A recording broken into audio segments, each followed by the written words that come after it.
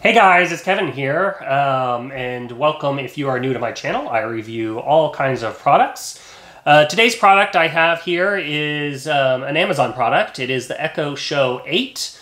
Um, this is their new and approved um, Echo Show device. Um, they have an 8 and a 5, which I have both of those.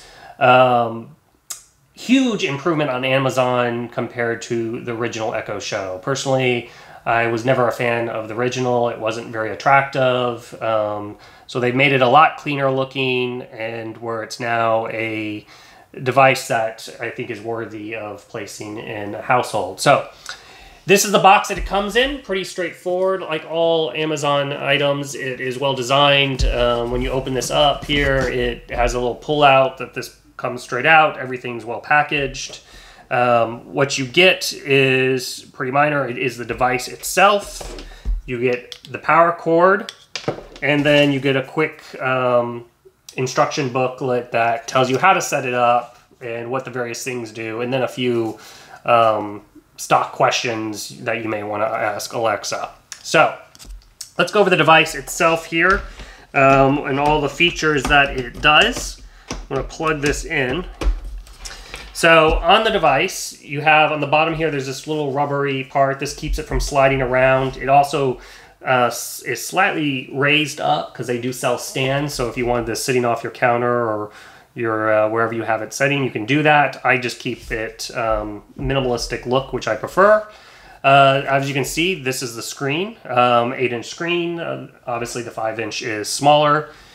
And the back part here is the the speaker system. It is sounds great. It has a lot more bass. Um, big improvement compared to the um, Amazon Echo devices. So it has a lot better sound quality, in my opinion. So um, if you're thinking about upgrading one of those devices, you may want to check out the show because you're going to get the video screen to go with it.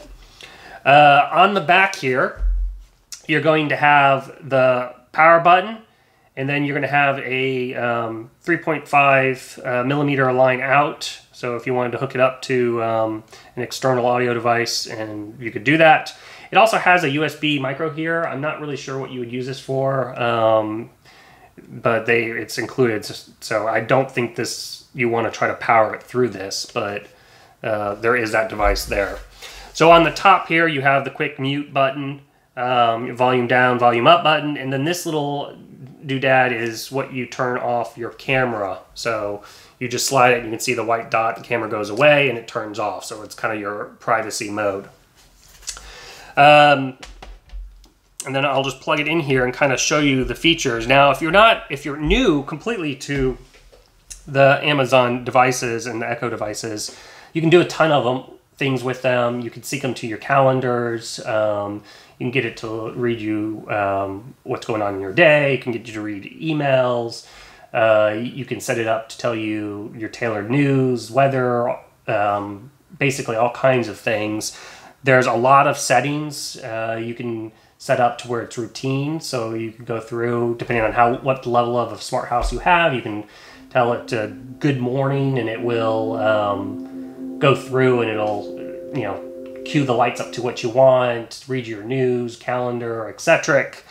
And uh, the device also acts as a um, picture frame, which I think is really cool. That was not something I really was thinking about. So you download their photo app and you can essentially create an album and it'll rotate and show you photos, which I know one of the big crazes out there is the digital um, photo frames. I've even reviewed some in the past, which uh, for almost the same price, you could get that with this plus a lot more features. Um, like if you have a ring or an Arlo or a Nest or something like that, you can even pull up um, to where you can see your security camera. So if you have this at work, you can pull up and see if somebody leaves a package at the front door, etc.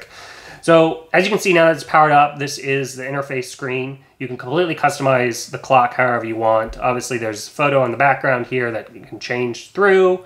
Um, you slide down, you get your home button, you can adjust the brightness, do not disturb if you want to use it as an alarm clock or something.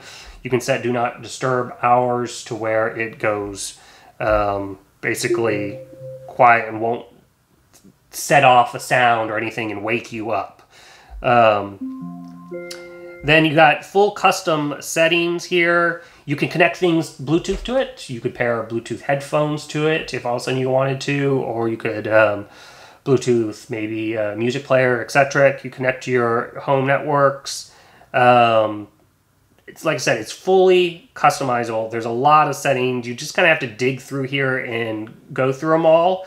One of the things I read when I was buying it that's common on the comments is people complain about it cycles through and it gives you like suggestions of um, like how to make this recipe or what's the latest happening in the news. And a lot of people view those as ads. Once again, those are fully customizable. So you can tailor those to your personal likings or you can turn them off if you don't want to see them. Um, so be sure to check out those settings options. Uh, there is a lot of them. So, and then if, so like I said, scraping down gives you your settings, or you can swipe over here. Um, and, whoops, now it has a connection error. Oh, probably because it's not connected to my Wi-Fi.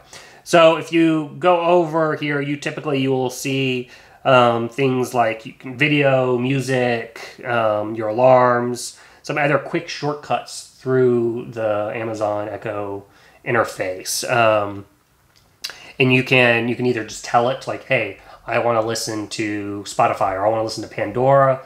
Pick your station; it'll automatically play that. Or you can swipe over and then select your station if you all of a sudden like, no, you know what, I, I just want to come over and um, select uh, Amazon Music or something like that. So lots of options. Um, it's a very cool device. I'm really impressed with it. A big improvement um, compared to the previous generations. Obviously, the, the 8 inch is a larger one. This is perfect for um, our kitchen um, compared to uh, you know other places in your room. If this may be a little bulky on your nightstand, so that's where I would recommend um, doing you know the five inch if you're gonna have it at work or something like that or nightstand or, or tighter space. So this is one of those little ad things that um, people complain about. Well you can you can turn you can turn those off.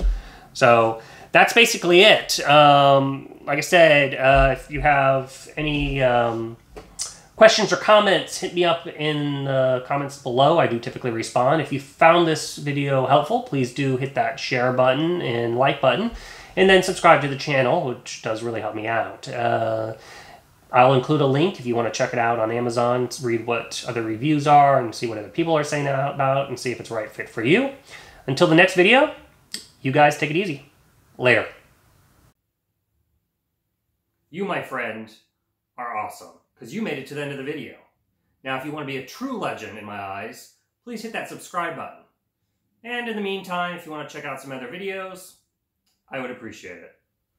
Till the next review, you guys take it easy.